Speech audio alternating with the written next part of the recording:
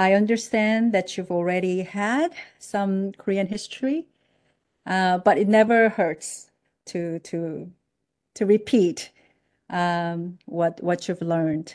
And so hopefully I'll be able to take Pak Kyŏngni's literature as an opportunity to introduce you or reintroduce you to very salient and important milestone events in modern Korean history. Those events certainly shaped Pak Kyŏngni's life and her work. And so uh, if I do my job well, all of these things will seem organically woven together. So um, I asked uh, Professor Che to share uh, The Age of Doubt, a short story uh, written by Pak Kyŏngni in 1957. And hopefully some of you had a chance to take a look uh, and also to recommend um, Parts of Land. Uh, Professor Che mentioned that it's 21 volumes. Uh, when it was the version that I know was 16 volumes. Uh, it's certainly been published over and over in longer and longer um, uh, versions. Um, and not all of it, all, the five part uh, Roman fleuve have been translated. Uh, but there's part one that's available in English translation. So maybe some of you are able to take a look at that.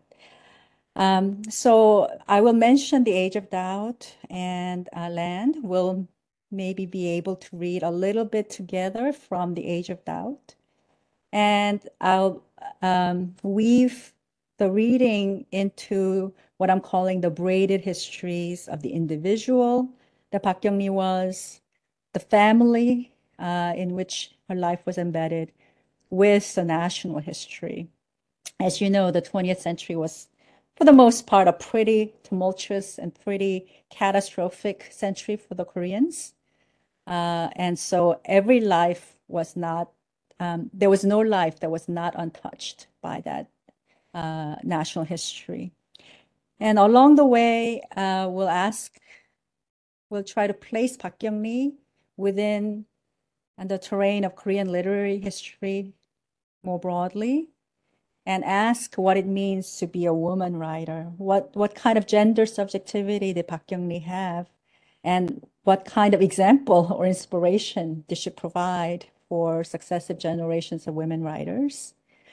Especially the writer Kong Ji-young, who I understand you'll be meeting in person. Kong Ji, for Kong Ji-young, I mean Kong Ji-young, um, a number of occasions talked about Pak Kyŏngni as as the writer who's had the most impact on her life. And so we'll be able to think about those questions together. Here's a picture of Pak Kyŏngni from 1957 when The Age of Doubt, her short story that you uh, read, um, won a prestigious literature award in Korea. All right. So um, The Age of Doubt, let's start with that work. Um, it's one of the 101 masterpieces of Korean short fiction selected by a pretty famous and accomplished writer himself, Hwang Seok-young. Um, and it appears in volume three of that collection. And the volume three, I, you see an image of the cover, book cover here. And the theme of that volume three uh, is like weeds among the ruins. Okay?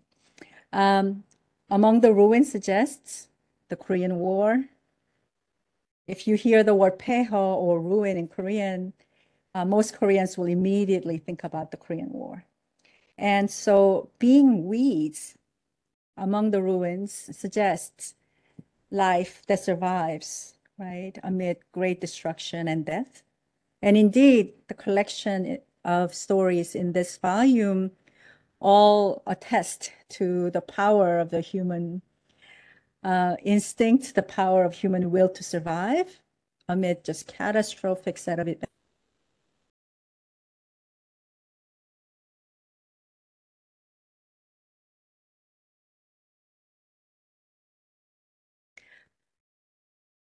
Okay, so um, I thought maybe we would have some students read this out loud, uh, but in the interest of time, because I feel like uh, we lost some minutes, I'll just go ahead and read out loud, just the first page of The Age of Doubt. Okay. So um, the night before the second battle of Seoul, a bomb killed Jin Young's husband. But before that happened, he had told her about a death he had witnessed of a North Korean soldier on Gyeongin Road. The soldier was so young, he might as well have still been a boy. The boy soldier lay beneath a tree on the avenue, hordes of flies attacking his, his exposed entrails like flesh eating demons. He was begging for a sip of water and calling for his mother in a trance like state. A fleeing passerby had taken pity on him and left behind a cracked open watermelon but the boy was unable to eat it, and his breath slowly left his body.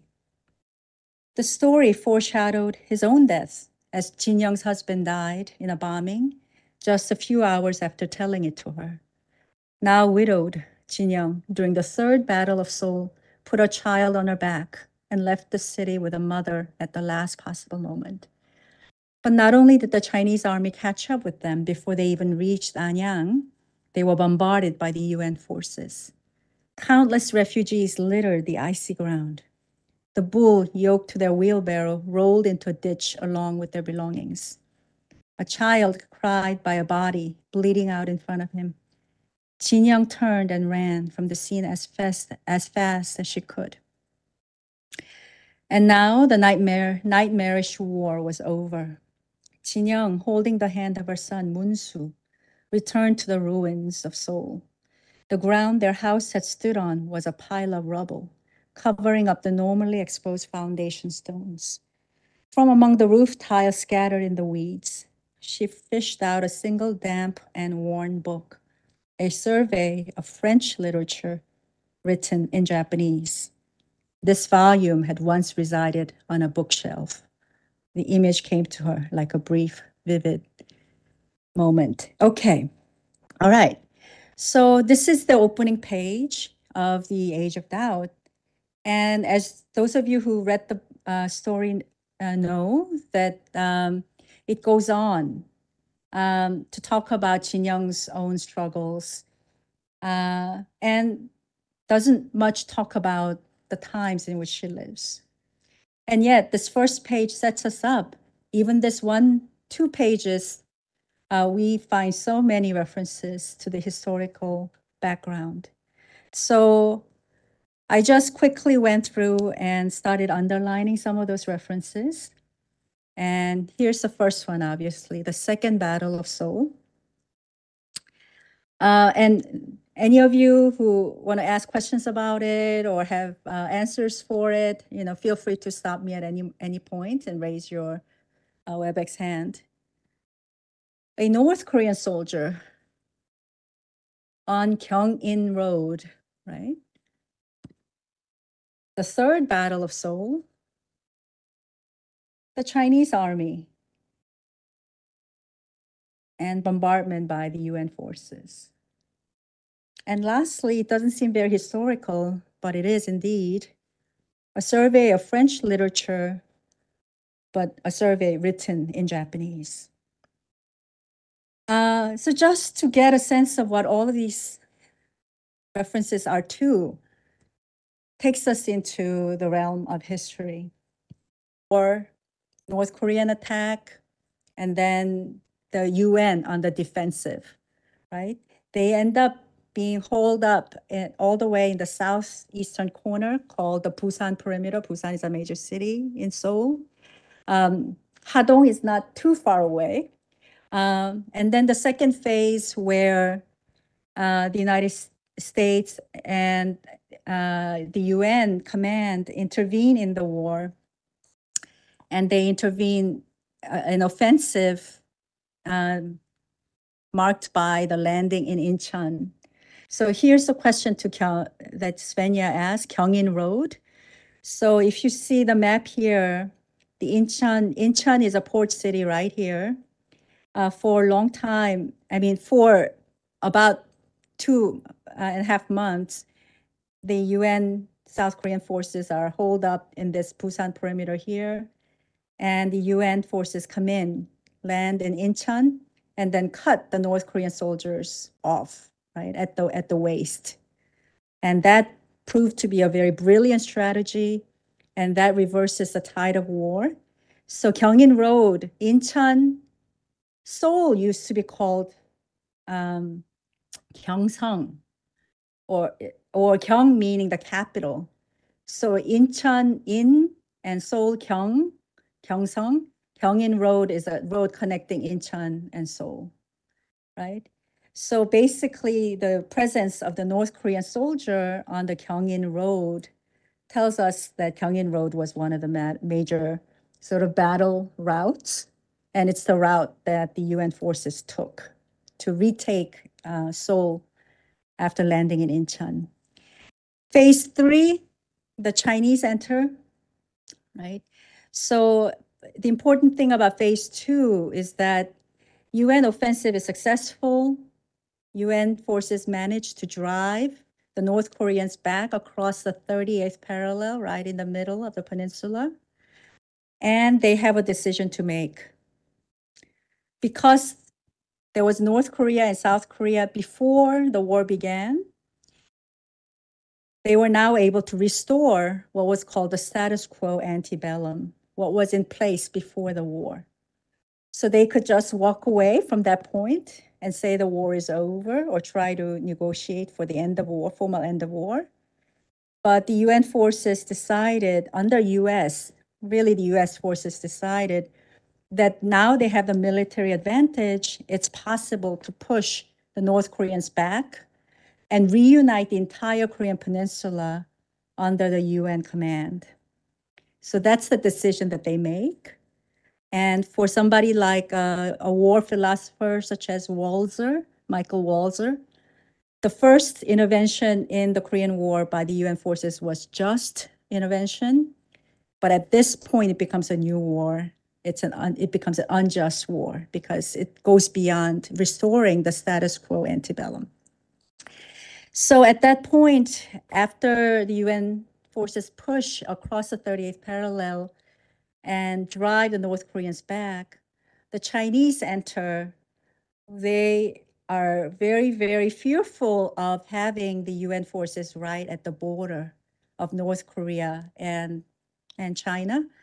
China, uh, the Communist Chinese Party had just won a very difficult war against the nationalists and they they they feel threatened by the um, the presence of the UN forces in what used to be North Korea. Uh, and the Chinese entrance entry into the war changes the tide of war once again, so that the UN forces are forced to escape and retreat from the port of Hungnam. That's phase three. Uh, Seoul falls as the Chinese push their advantage. And the famous January 4th retreat, the fall of Seoul to the communist Chinese communist forces, and, and the retreat from Seoul is has become the material for much cultural representation in Korea because it was so, so difficult. And that's where the third battle of Seoul, just mentioned in uh, The Age of Doubt, happens when the Chinese uh, forces take over Seoul. Phase four, the United States, United Nations counteroffensive and the Chinese uh, Communist Forces offensive. This back and forth movement happens um, in 1951 and fighting, uh, Seoul is recaptured by the UN forces and the fighting more or less stabilizes around the 38th parallel. And from that point on, you have negotiation talks begin that begin and no major sort of change in, in territorial possessions by the different forces. So the Korean War timeline, and you see how um, uh, Jin Young and, and her life and, and the background to um, the Age of Doubt happens right within this history. Okay.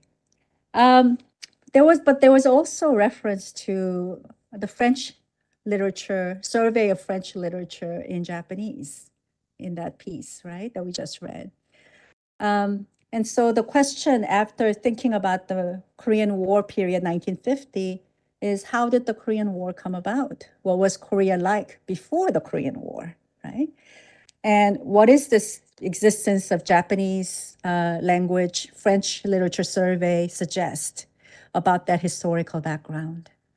And so to answer that to answer that question, we need to go back a little bit further in history to uh, the Japanese colonial rule of Korea in the first half of the 20th century. What lays the ground for that is actually the mid 19th century in East Asia. So I'm giving you some very uh, broad uh, strokes of uh, history in 19th and 20th century Korea. Uh, the mid 19th century in East Asia was a time of Western aggression. So China, Japan, Korea, all of them had so-called, at the time they felt, they called it barbarians at the door. So Western forces that were kind of threatening um, these polities uh, by force of arms. Um, I'm not going to go into it into it, but the Opium Wars in China led to unequal treaties and foreign concessions in China. Turned China, which was for for so many centuries the Middle Kingdom, into this label, sick, the sick man of Asia. Japan, Commodore Perry's black ships appeared mid 19th century uh, on, on, on, the, on the shores of Japan, of those island archipelago uh, led to forced opening, but the response that Japan had to the appearance of the West on its shores was different, led to a political revolution, civil war within Japan. The, the faction that won uh, opted for modernization of the country, sent out study and diplomat, diplomatic missions uh, to parts of the West, right, including the US, France, Germany. Uh, in other words, Japan became a model student of modernization, which at this time is really westernization. Korea, the smallest of the East Asian countries among the three, also belated encounter with French and American forces. Um, their response completely different went a completely different way. They opted to isolate themselves further and the, the label that became uh, characteristic of uh, korea was that it was a hermit kingdom. And it was only at the very end of the 19th century starting in 1894 there were attempts at modernization from within uh, in korea um, those attempts I'm calling belated because Japan had modernized and become powerful um, in, in the Western uh, mode and was now becoming, uh, developing imperial ambitions. And so Japan would not allow Korea to kind of modernize alone on its own, at its own pace. So here's an example of the philosophy of modernization that Japan took as a model student of the West.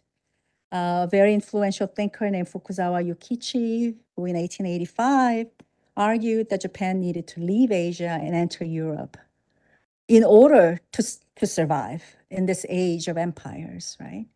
Western civilization is like the wind every blade of grass and every tree in the east will have to follow what the western wind brings, he says. It's also like the measles. We don't love it, we might hate it, but it's inexorable. That's the idea, right? And the other Asian neighbors, East Asian neighbors, China, Korea, the Confucian sphere in which Japan had operated for, for centuries, those friends are not coming along with us they're holding us back. We have to leave the ranks of Asian nations and cast our lot with civilized nations of the West. Okay?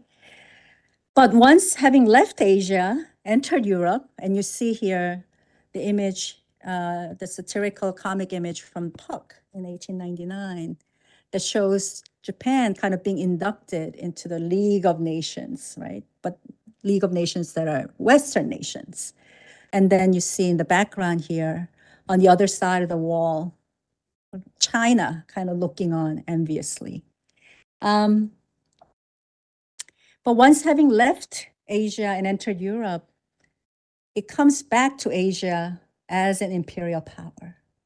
And so here, Japan returns to Asia. Also, a um, couple of images that can help you, um, I think, grasp the essence of this message in a very graphic way.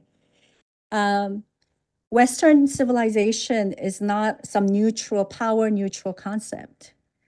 It was understood by Japan as a hierarchy, a necessary hierarchy. As you see on the left, image on the left, as a doll's house, right? It is tiered, it, it is hierarchical. Hierarchical that is based on technology, your ability to shrink space time, right? Steamship, uh, telegraph poles, right? Hot air balloon, trains, your the technology that will allow you to traverse miles and miles that would have taken days and days upon days in a matter of hours. And upon those technology, you can now array the nations of the world, right? European nations standing militarily, European nations also sitting with culture, right? Music.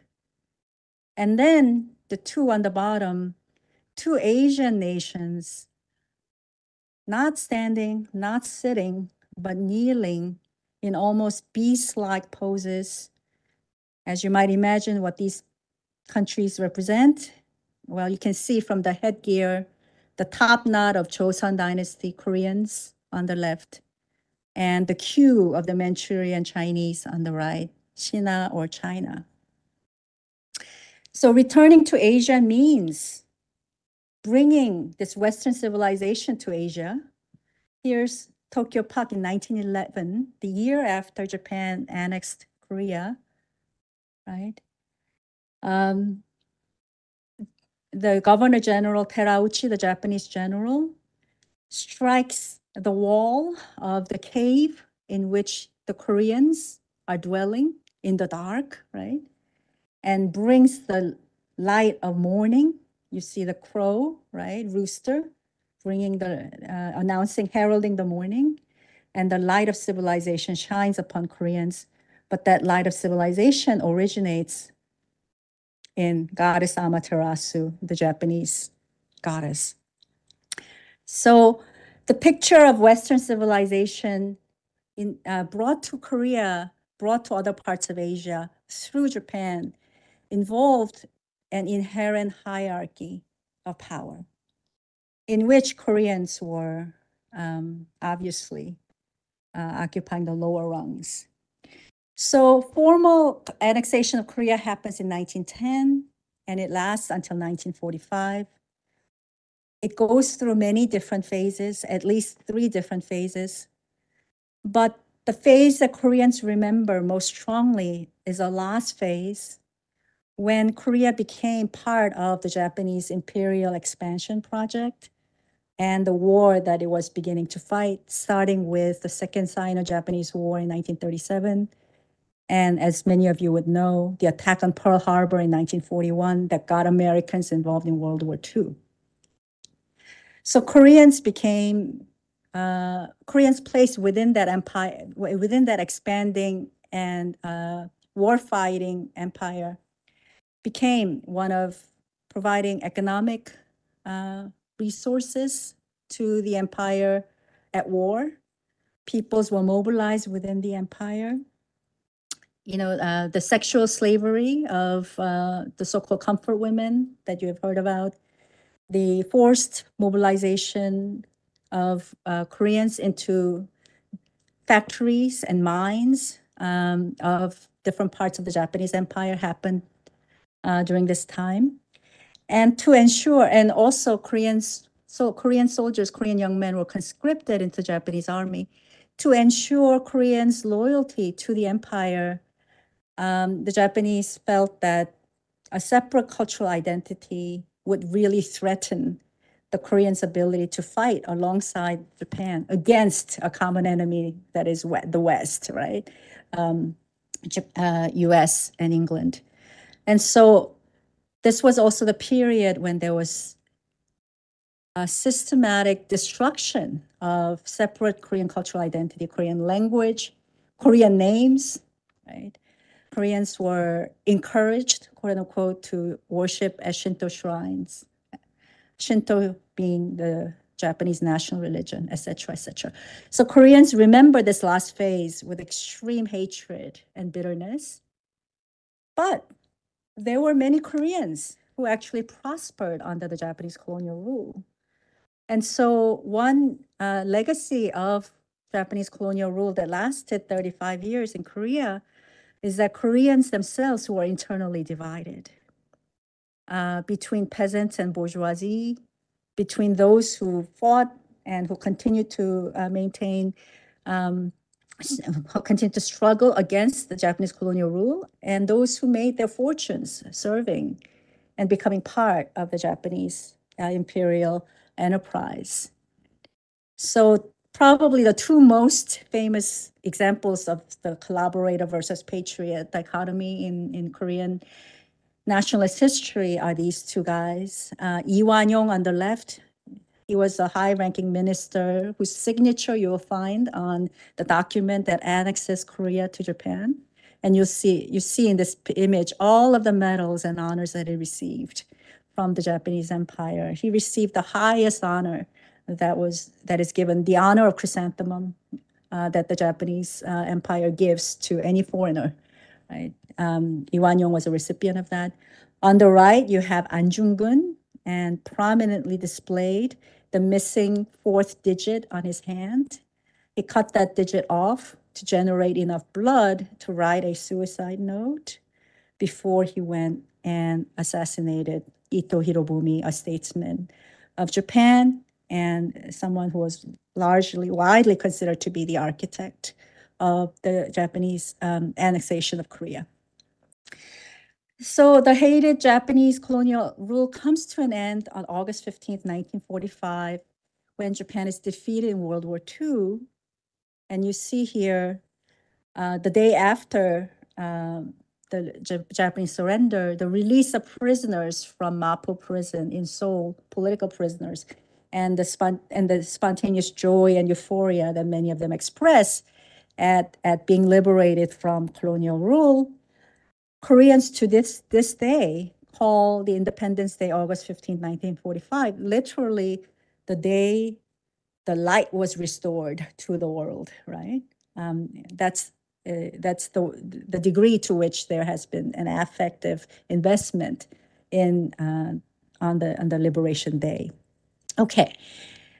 Uh, and so bring this, bringing this back to Pak Kyŏngni, Pak Kyŏngni's literature, um, Toji or Land, her magnum opus, is a story that takes this entire history as the background for a multi-generational tale it weaves of, uh, of Korea, right?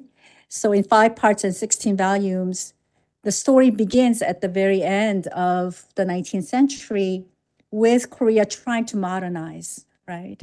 Um, as you know, the the Japanese imperial power uh, and other imperial powers are kind of looming in the background, um, and with a rebellion by it, it begins with a peasant rebellion um, that sought to kind of to to change the Korean old Korean system for the better without kind of falling into the westernization uh, mode. Okay, so the story of Toji, which takes begins in 1897 and goes all the way to 1945, the end of Japanese colonial rule, you can see in this timeline that the theme of resistance is very important. Resistance, political national resistance, resistance to uh, foreign oppression, um, but also resistance to feudal class, uh, feudal forms of, of oppression. So the narrative really focuses on female characters and their uh, love plots, love lines that kind of cross the, the class divide. Um, and takes that story from Hadong in South Gyeongsang province in Korea overseas to parts of Northeast Asia, including the Manchurian region, where there were a lot of independence uh, activism happening during the Japanese colonial rule.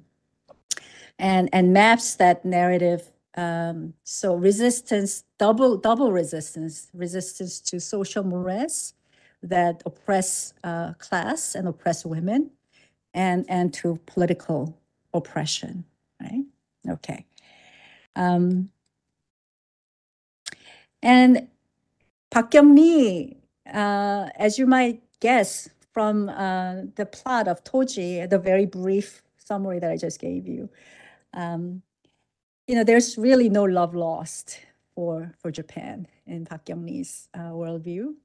So, um, you know, she wrote a number of pieces, essays on on Japan, reflections on on, on Japan, and these reflections were uh, collated and combined into a published volume called Sundry Thoughts on Japan.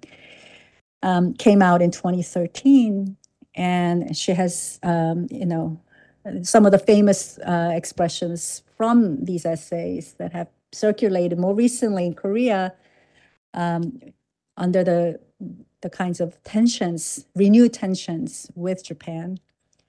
Um, she has said that it has been a singular misfortune of Koreans to have had Japan as a neighbor, and that the Japanese uh, do not understand ritual propriety or ye. Right? This term I'm going to come back to later, so I want you to kind of keep that in mind. Instead of, uh, you know, you treat them with this ritual propriety, um, they will see it as a kind of a weak, a weakling trying to uh, curry favor, an example of toadyism, and then kind of step on you. So what you consider, what Koreans consider to be ritual prop, ritually proprietous uh, action toward other or neighbor would be interpreted as expressions of power in the Japanese case. So that's the point that um, Pak Kyŏngni was making in these essays. Okay, so coming back to 1945, so end of Japanese colonial rule in 1945, and then we talked about the history of the Korean War beginning in 1950. What happened during those five years from 1945 to 1950? How did Korea become separated, divided, partitioned into two in the first place? So let me talk about that history briefly uh, before returning to Pak Kyŏngni again. So mention that August 15, 1945 is celebrated in Korea as the day light was restored. Um, but that very day, actually, two Korean leaders, nationalist leaders, expressed very different reactions.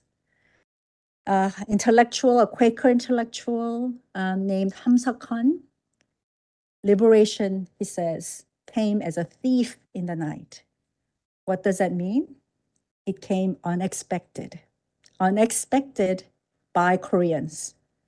And why was that a problem?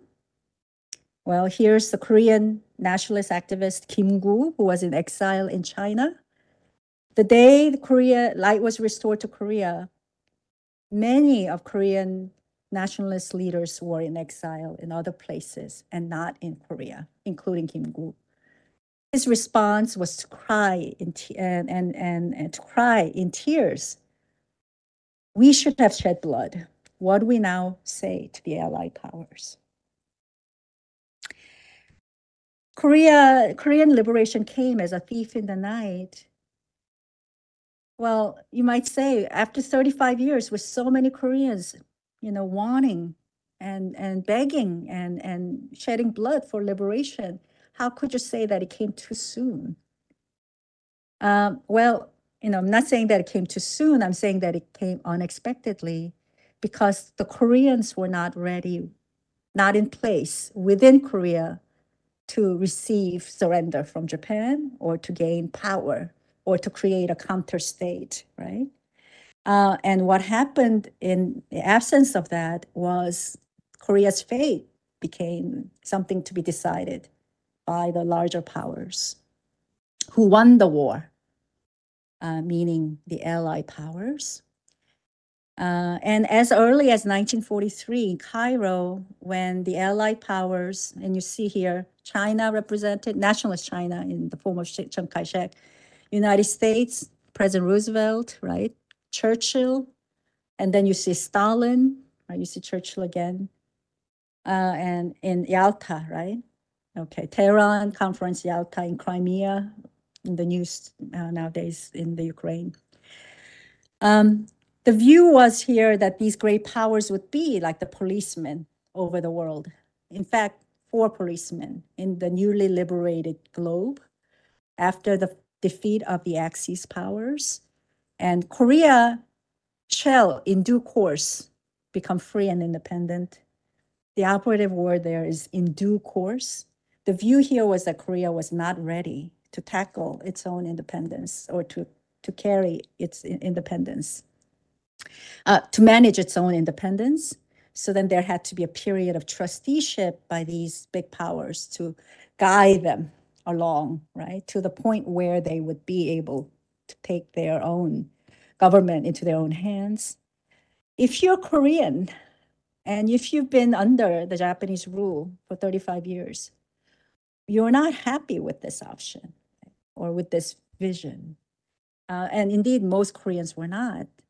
And that begins to set the ground for the trouble to come later. Um, those of you in Germany, here's the Potsdam Conference. Um, now, the end of the war was predicted. I mean, the Axis defeat was predicted, um, but it was it still came very suddenly.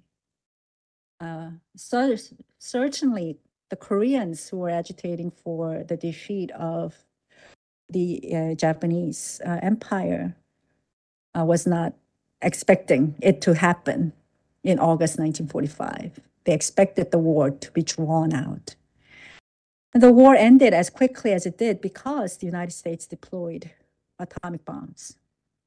First one in, on Hiroshima, uh, August 6, 6, 1945, the little boy, right, which decimated, took out about a third of the entire city, and followed by Nagasaki, the fat man, right? Um, up to 80,000 deaths in a city of estimated 250,000 in population. This has a momentous impact on Korea and re-signifies the East Asian region for the United States especially. Now, United States, looking at East Asia during World War II, saw in Japan an enemy after the dropping of the atomic bomb, Japan also became a victim. And because of the violence being so unimaginably uh, catastrophic, right? Um, and as the world quickly became ensnared in Cold War, the war between the so-called free world and the communist world, right? Uh, a, a, a two-world system um, that sustained the Cold War logic. Japan also went from a victim to a very important ally for the United States. Japan was going to be where the um, Japan will, would would be the base for the United States uh,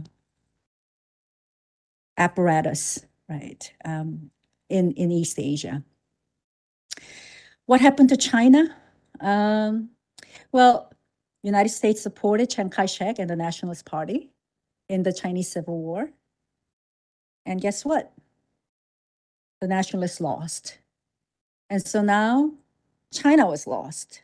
China was lost from the US perspective to Reds, to the communists. So China, the nationalist China that would have been one of the four policemen to superintend the world in post World War II order went from four policemen to you know the enemy, right? The threat, the Red China that was that would engulf the world if left alone, right? And that would be kind of partner to the Soviet Union. What about Korea? Korea went from a victim of an enemy, right? Because when Japan was America's victim, I mean, when Japan was America's enemy, Korea was Japan's colony. In other words, Korea was a victim of America's enemy. But now that Japan was no longer quite a vic- quite an enemy, but a victim of atomic bomb and also an ally of a newfound world order, what would a victim of a victim become? What kind of moral category is a victim of an ally? And Korea also became the front line in the battle against communism. What ended up happening in Korea upon liberation from 1945 to 1950 then is Korea got the occupation package that was originally designed for Japan. America's attitude toward Korea became one of a punitive one, right? Uh, looking at uh, dealing with hostile enemy. So bottom line, and this is not my words, but a diplomatic historian, a famed diplomatic historian, Lloyd Gardner, he has this to say about the US policy toward Korea. It was always about someplace else. It was about Japan, it was about China, it was about Soviet Union. Okay, that sets the ground, I think, for thinking about the US occupation of South Korea and Soviet occupation of North Korea, and the leaders who were selected to lead both countries. And as the relationship between Stalin and Truman fell apart, as the relationship between the United States and the Soviet Union became a hostile one in the Cold War. Remember, they were allies in World War II, but at the end of World War II, they were very suddenly and quickly becoming enemies, leading the, the two, two world system, right? Uh, Korea became uh, the crucible where those tensions erupted.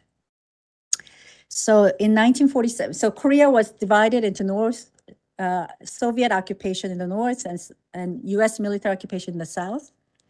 And then how would these forces then withdraw from Korea? In 1947, Soviet proposed that they withdraw simultaneously. Uh, US said no, we would we would like to have the UN monitor election of 1948 in 1948 first. So a separate South Korean general elections was held in May 1948 lots of people, including Kim Gu, lots of nationalist leaders in South Korea, uh, in, in, in both Koreas, really, really argued against separating and formalizing the division into these separate republics. But that's what happened in 1948 in South Korea first, and then followed in North Korea by their own uh, election, um, leading to uh, the establishment of the Democratic People's Republic of North Korea in, in the north, and then the separate South Korea, Republic of Korea in the south. Okay, so then that's what sets the, the stage for the 1950 formal outbreak of the Korean War. Neither side, neither North nor South, is happy with the situation in which they have, you know, the country separated in the middle. Whichever side has military advantage would try to press that advantage to unify the country, the peninsula. And Kim Il sung had the military advantage in 1950 in June. Okay. Um, so here's Pak Kyŏngni, major events in Pak Kyŏngni's life. Pak Kyŏngni was born in 1926 in Gyeongsang, South Gyeongsang province, in a, in a city that is often called the Napoli of, uh, of Korea, Tongyeong. It's a sea, seaside town. In 1945, she graduates from a prestigious girls' high school in Jinju. And that very same year, she marries a, guy named Kim Heng-do. And uh, you see the picture here of their family. Um, and, and, and the older woman sitting down is Pak Kyŏngni's mother, uh, who actually had a very unhappy married life because her husband had a second family, second wife uh, that he lived with. And so Pak Kyŏngni from, from young age, um, you know, suffered from um, having a father who is largely absent. Uh, and so Pak Kyŏngni took care of her own mother. So that's why you see her in the picture.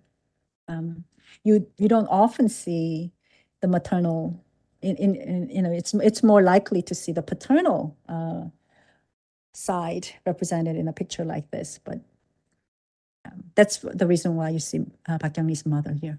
Okay, uh, and then the year after, Pak Kyŏngni moved to Incheon, the city. Remember the Incheon landing, Gyeongin Road, uh, when her husband Kim Heng-do started working for the Tobacco and Ginseng Bureau of the U.S. military government.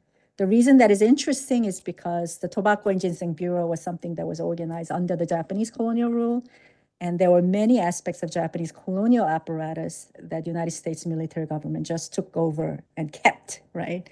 And inherited and preserved, which also meant, you know, uh, caused a lot of problems for Koreans who, who, who thought that, well, the colonial rule ended. The colonial forms of power should end also. 1950, she graduates from Teachers College in Seoul. That same year, her husband is jailed, arrested as a leftist, as a communist, and jailed in the infamous Seodaemun prison. Infamous because this was also, Seodaemun prison was where the colonial, Japanese colonial government kept the independence fighters, the political prisoners. So the fact that this was kept alive, right, also meant undesirable continuity between colonial and post-colonial periods. Um, and he dies in December of that year.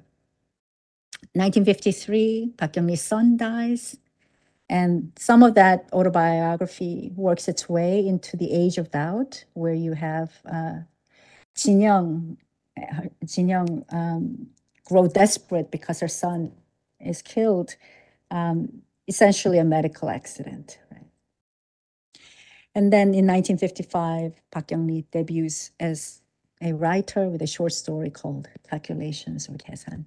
Okay, so this is sort of Pak Kyŏngni's life. Now we know, right? Having gone through the Korean history briefly, uh, but hopefully effectively, um, where this maps onto national history timeline. So 1926, this is during the Japanese colonial period, right? Um, stop Japanese colonial rule. Um, this is the liberation from Japan, the defeat, the end of World War II, right?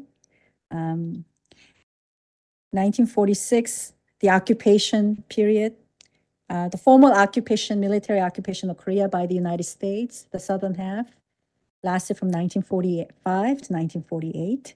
And you see, you know, that's when Kim started working for the for the U.S. military government. In 1950, uh, is the Korean War.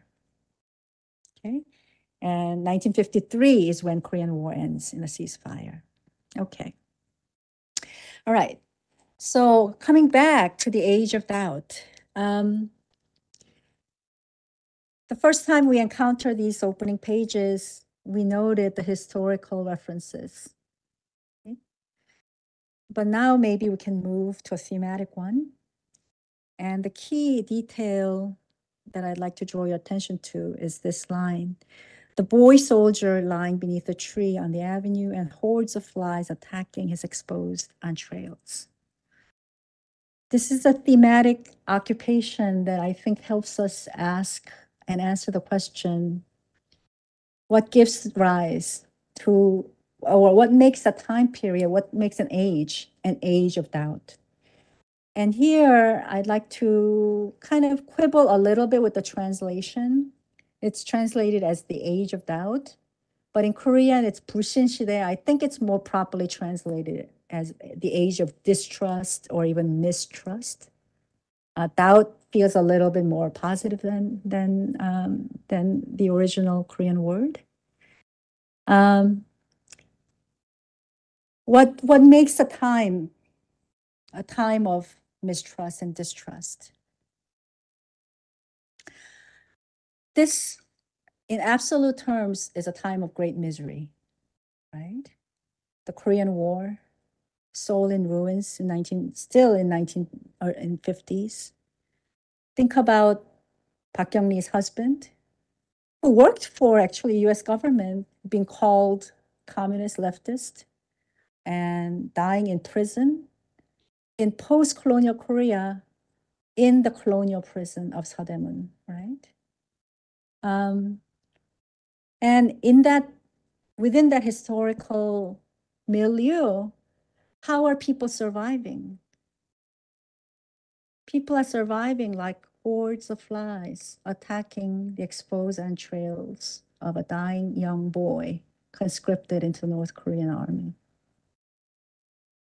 In other words, survival becomes a motto that allows, justifies anything and everything.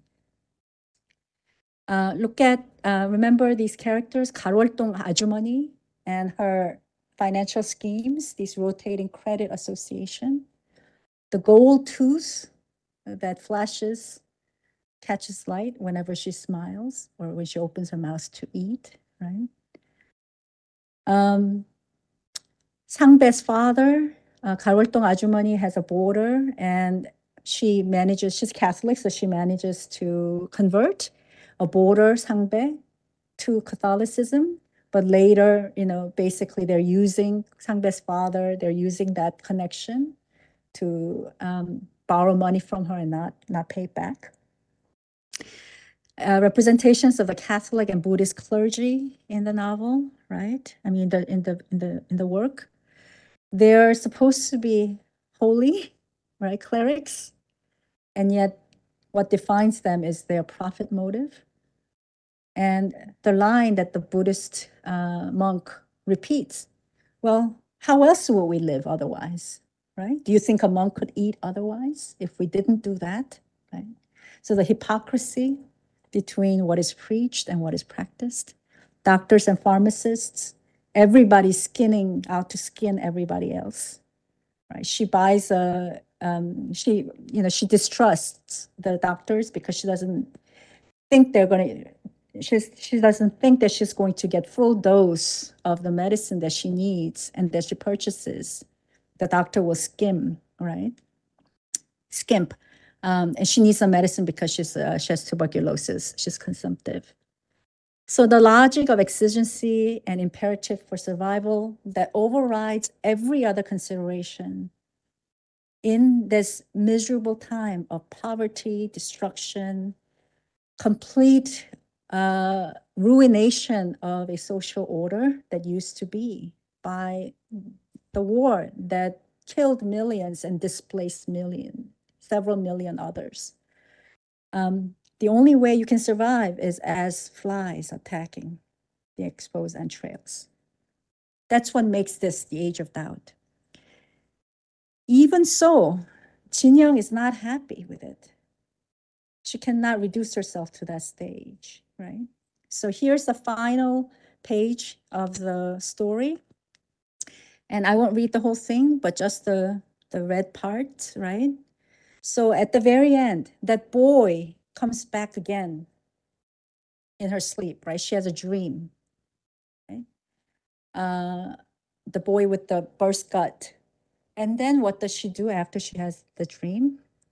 She gets up, she puts on a coat, she goes to the temple, Buddhist temple, where her her boys, her dead boys, uh, mortuary tablet and photo was being kept, right? Because the uh, Jin Young's mother wanted the ghost of her grandson to have a resting place, and it's very important for Koreans for the dead to have the proper ritual.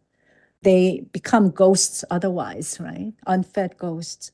So they Jin Young had paid money, and they'd gone to do this ceremony and even there, Jin Young was being sidelined because they didn't pay enough. Somebody who paid more money, the chief's wife, they were supposed to get the first dibs. And then she gets really disillusioned by religion.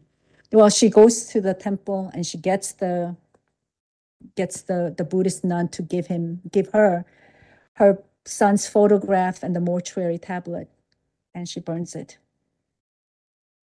And she says, Hey, I only have bitter memories dead, miserable memories. I refuse to say that it is otherwise. And then the last lines, I can still fight the fight, right? So here, the strategy of surviving the age of doubt for Jin Young is other than as the horde of flies. She wants to survive that age as a human being, in other words, right? And how does she do that? How does she manage to do that? Well, I would argue that she does that through a series of refusals refusal to compromise our principles, refusal to look the other way, refusal to be consoled. Hey, these are miserable dead memories, right? And kind of, I'm not going to turn to religion to try to give me the consolation so that I can make the daily life livable. I'm going to face the misery, right, head on. Refusal to stop fighting. And even though the English translation is fight, fighting the fight, I think it's not quite correct because the Korean word for fight is actually hango, and it's more like resistance, resistance to injustice. And such resistance can be individually expressed, but is also often socially, collectively, and politically expressed. As you see here, anti-colonial forces who call themselves the righteous army. And ultimately, these refusals are refusals to survive war torn Korea as a fly, right? Feeding on the dead.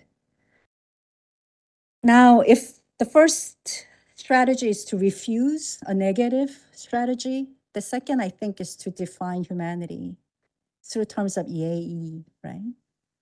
Ye is ritual propriety, Yi is righteousness, yei. Today, yei kind of is conventionally something like manners, having great manners, good manners, uh, is considered to have your you have your you have yei. But yei actually are Confucian terms with these deep Confucian notions, and yi, for example, becomes the the slogan for the righteous army resisting colonial Japanese rule. So ui and both ye and ui have these long resonances that are very, very important historically in, in Korean Korea.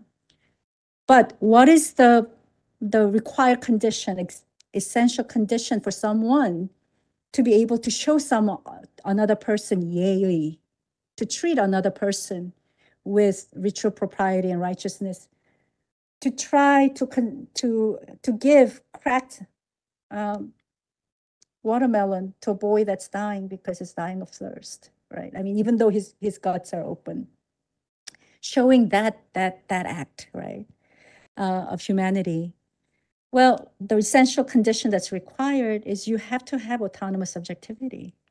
If you're forced to be nice to someone, then that's no yei at all. That's not ritually proper. That's not righteousness at all.